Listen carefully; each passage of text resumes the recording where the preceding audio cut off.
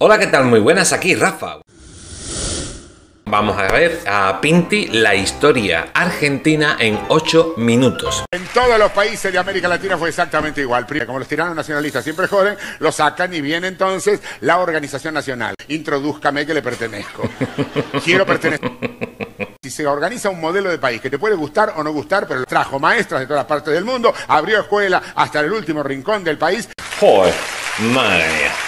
Menudo zasca que le acabo de meter. Empiezan a gobernar los radicales. Primero un radical muy popular como Irigoyen. Mandado por el general Uriburu, manda la puta que le parió a la continuidad democrática y nos sumerge en la década infame. Nos vemos en el próximo vídeo y hasta entonces, sed felices. ¡Mua!